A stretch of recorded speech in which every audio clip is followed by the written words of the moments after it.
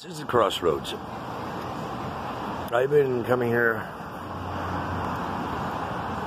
since I first came to LA in 1983 with NBC to do what I thought was one thing, which turned out to be a whole nother thing.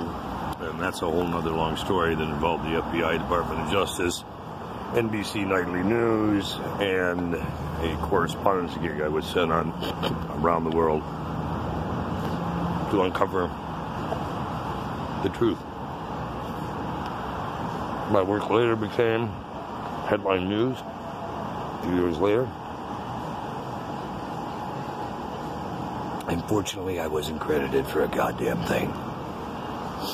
It involved the FBI, Department of Justice. Yes, I know you guys don't want to hear it. Re-